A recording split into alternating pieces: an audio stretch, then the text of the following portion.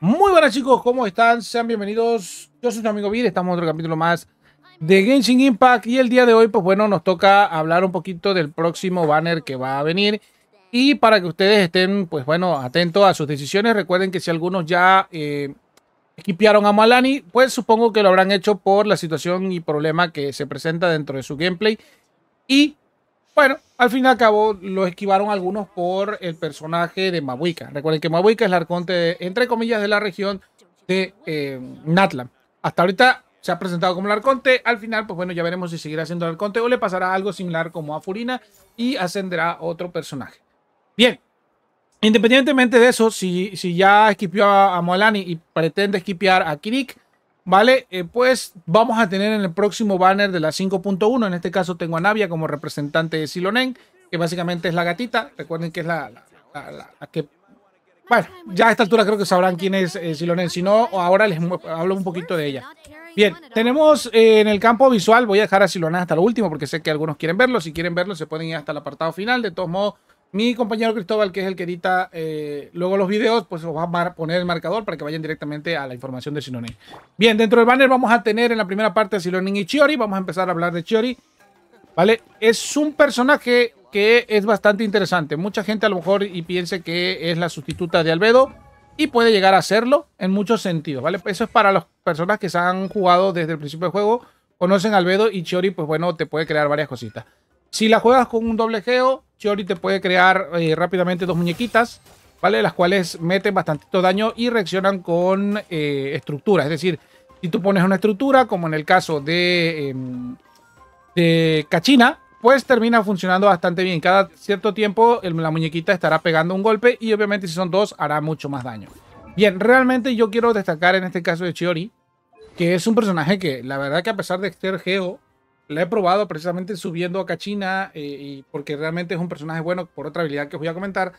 Pues sí que ha terminado pegándome bastante bien y me ha gustado, ¿vale? Sobre todo porque ha sacado números altos para ser un personaje geo soporte, entre comillas. Bien, entre las cosas importantes quiero destacarles, en el caso de Chori, esta habilidad. Se llama Hermosa Figura, ¿vale? Eh, la habilidad. Esta habilidad básicamente hace que Chiori permita al equipo caminar 10% mucho más rápido en exploración. Pero tiene una condición. Para que esto pueda ocurrir, tenemos nosotros que tener en el armario puesto, al menos en ella o en algún otro personaje, un, planeador personalizado o, en su defecto, alguna de las skins que aparece, que obviamente es de las gratis o de las que hayan comprado, ¿vale? En este caso, cualquiera de las que está aquí.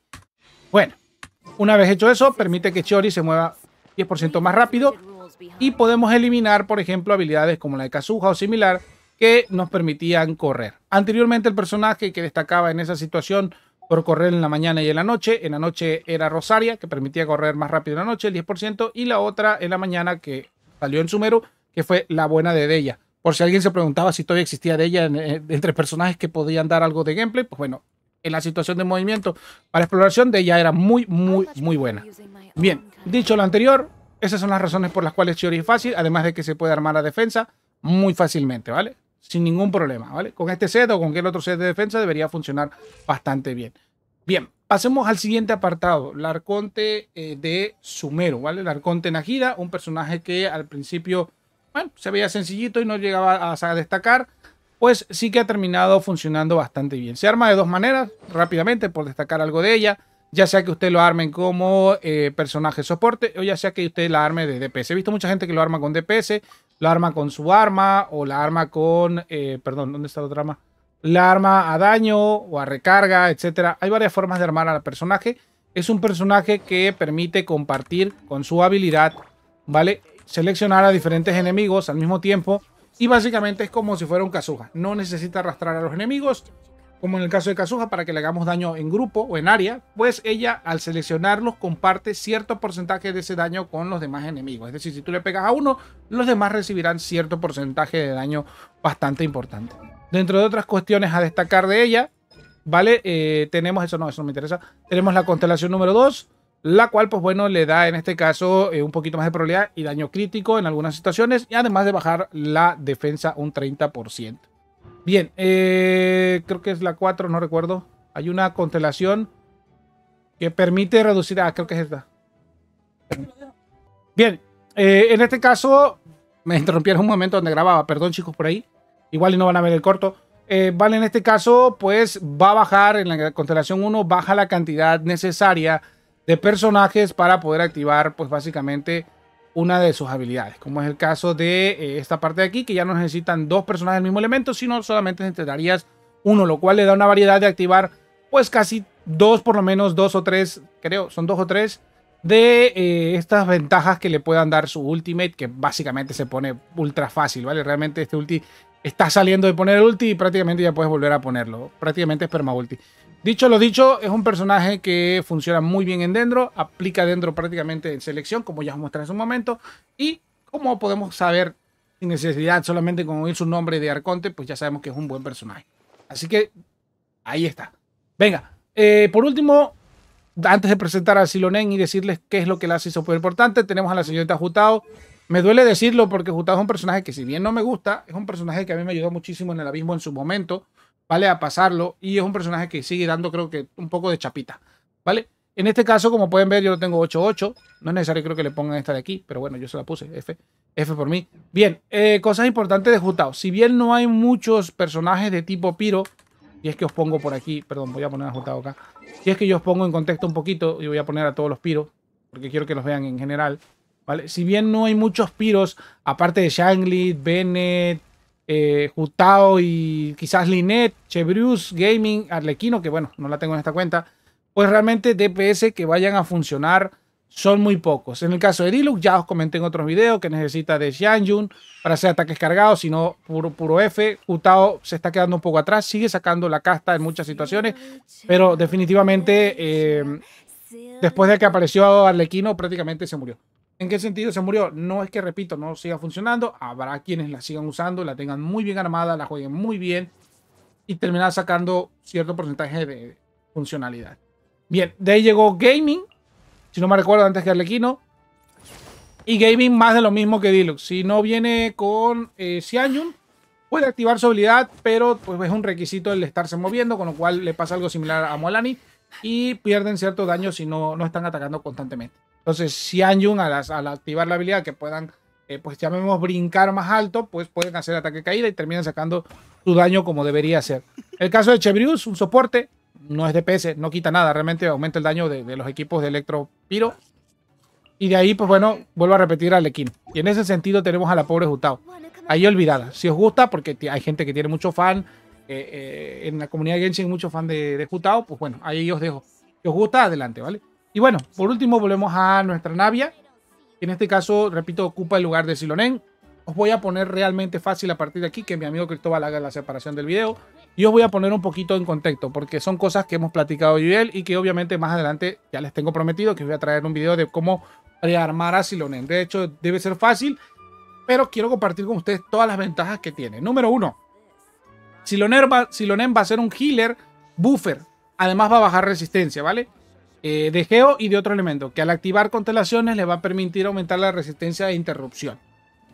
Y la C2 dará más bufos que obviamente no voy a explicarles ahorita porque se los voy a explicar en otro video, solamente es un contexto para que sepan coger cuál es el mejor personaje de la 5.1. Además de que eh, se hace la comparativa con Kazuha, con un Kazuha de maestría, de, de 1000 de maestría, que en este caso eh, dura 8 segundos su habilidad, eh, al bajar la, perdón, al aumentar el daño de bono de daño elemental, y en el caso de Silonen va a durar entre 15 y 20 segundos, lo cual es casi el doble de tiempo. Además, Silonen, si la coronamos en el talento, eh, no, me dice aquí el talento, va a bajar un 36% la defensa, ¿vale? 45% a nivel 3, es decir, si tenemos constelaciones.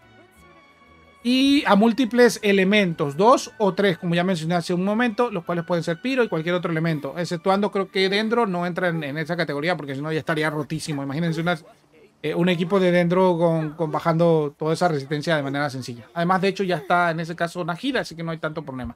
Bien, durante 15 segundos, ¿saben lo que son 15 segundos bajar la resistencia del 45% como lo hace una Nemo? Es una burralidad, ¿vale? En ese sentido es una burralidad. Eh, y lo puede activar además fuera de campo. Kazuha baja 40 con la, con la comparativa, pero solamente es a un elemento. Ella va a poder bajar, entre comillas, a dos o tres. ¿Por qué? ¿Por qué tres? Porque puede llevar tres personajes de diferentes elementos y ella, ¿vale? En el equipo. Eh, además de que tiene que estar en el campo para hacer esa bajada de resistencia. Silonen también se puede adaptar que tiene la rotación de 15 segundos con un CD de Arconte en sus habilidades, que es un CD de Arconte que prácticamente lo puedes activar cada tanto tiempo, ¿vale? O sea, rotas a los personajes, tiras los ulti, llegas a ella y tiene otra vez su habilidad para tirarlo de nuevo. Además de que obviamente ya mencioné que va a curar similar a Bennett, no creo que cure similar a Bennett, pero bueno, es lo que están diciendo. Además es waifu, me comentan ahí. Es furra, tiene dos pedazos de ustedes saben qué cosas de delantera. Eh, tiene un burro petote. Además de eso, mm, su arma también le va a dar bono de daño elemental. Y no se me olvida, ¿vale? No se me olvida decirlo porque tengo que decirlo. También va a tener un bono en Atlan de movimiento del 25%. O sea, lo que hace Chori lo va a poder hacer ella, pero solamente dentro de Natlan, ¿vale? Así que, pues nada, chicos, eh, aquí tenemos lo que es eh, el conjunto de personajes que van a venir al 5.1 ya sea que sea cierto o no esto de los 5.1, la verdad es que la tenemos bastante fácil de escoger. Silonen directamente. A menos que, bueno, no tengas a creo que sería mi segunda opción. Chiori mi tercera, si es que te falta un soporte. Y voy a ponerla a la igualdad de Chiori a Jutao, pero es que ya no tiene igualdad, ¿vale? Si, si ya vuelve a venir un rerun de, de Arlequino, sinceramente es tirarle a muerte a Arlequino, ¿vale? Ya Jutao no se compara con el daño de Arlequino. El, daño de Arlequino es demasiado brutal, además de que puede permanecer con el elemento en su arma mientras hace las rotaciones, cosa que Jutao no puede, porque si se, se deja de estar ella en el campo, pues F. Con lo cual, está bien, me parece God. Ese es mi pensamiento, chicos. Espero les haya servido y nos vemos hasta la próxima. No olviden dejar sus comentarios, sugerencias y estar preparados para el próximo mes. Vamos a tener por ahí una competencia donde a lo mejor vamos a regalar por ahí una, eh, un pase de batalla, ¿vale? Ya os explico en otros videos cómo va a ser esa competencia. Quien quiera participar, ya saben que como siempre va a tener que preparar los requisitos y podrá participar. Si no, nos vemos hasta la próxima. Bye bye.